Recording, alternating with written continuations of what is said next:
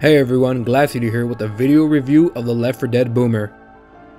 NECA's first ever Left 4 Dead figure has been released and he looks really disgusting, so let's check him out. The front of the package showcases the Boomer separated in half. The back of the package features some artwork and information about the Boomer. So let's get him out of the package. So out of the package you can see that this is a really nasty figure covered in blood and boils. In the zombie universe, this is an infected person who transforms into a giant bloated zombie and throws a bile that attracts other zombies. He has an amazing paint job, you can really see the dirtiness of his clothes, the blood stains on his t-shirt, and overall he just looks really grimy and nasty.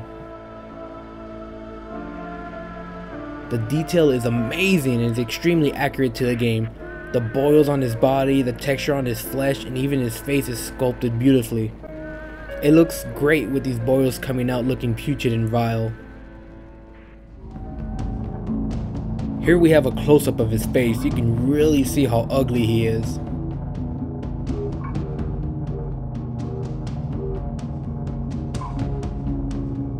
And we have a shot of him with his mouth open, ready for some vomit action.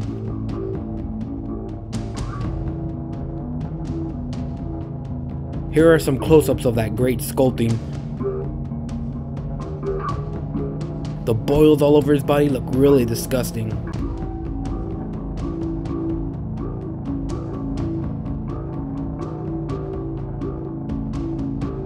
As for articulation, he has a ball jointed neck. You can slightly tilt it up and down and left and right. He has a hinged jaw that lets him open and close his mouth. There are ball jointed shoulders on each side but in his shoulder here, it hinders some of the movement. Here are his ball hinged elbows.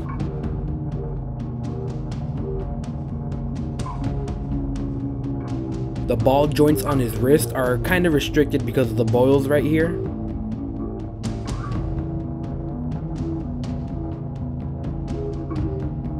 His upper torso is ball jointed,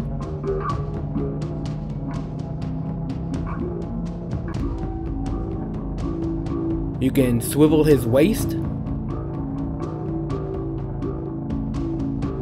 Ball jointed hips.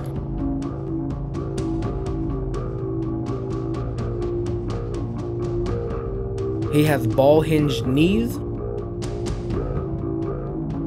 And finally, ball jointed ankles.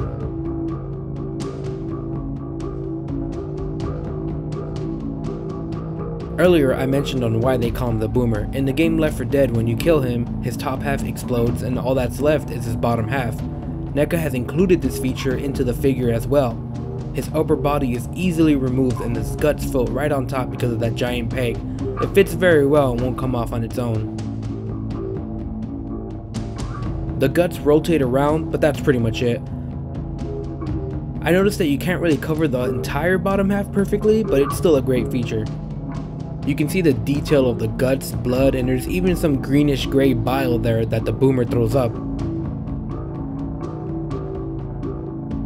As for size comparison, I have him next to a G.I. Joe Zombie Viper, a Walking Dead zombie, and a 6 inch War Machine. As you can see the boomer is a big figure and he stands 7 inches tall. Overall, if you're a fan of Left 4 Dead, zombies, or just want a really unique figure for your collection, I recommend you buy this figure. He's out in stores now, so happy hunting. Thanks for watching.